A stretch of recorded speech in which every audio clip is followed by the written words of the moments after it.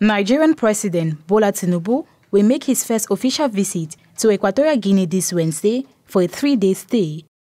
In Nigeria, President Tinubu's special advisor on media and publicity, Ajuri Ngelale, confirmed the details of this visit in a statement issued on Tuesday and reported by local Nigerian media.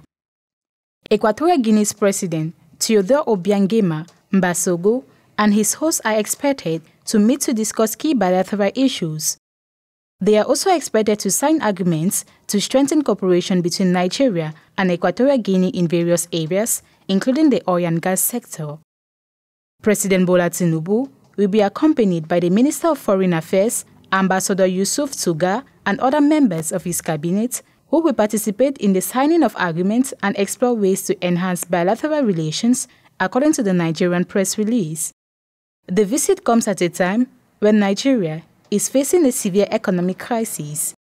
Africa's most populous country is experiencing social unrest marked by demonstrations. These demonstrations have been suspended but could resume on October 1, 2024, as promised by several actors in the End Bad Governance movement.